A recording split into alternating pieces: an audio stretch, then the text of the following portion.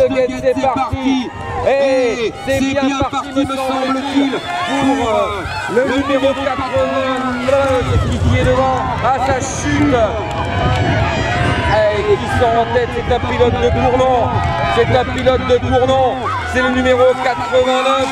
C'est Mathieu Courti. Il a déjà une bonne longueur d'avance sur Histoire. Et Mathieu Courti.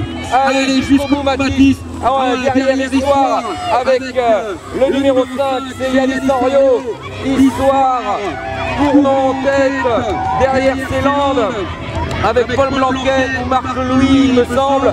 Ça revient derrière Lucas Robert en quatrième place. Mais c'est bien Mathieu Courti qui va remporter cette taille des pupilles devant Histoire et Lande.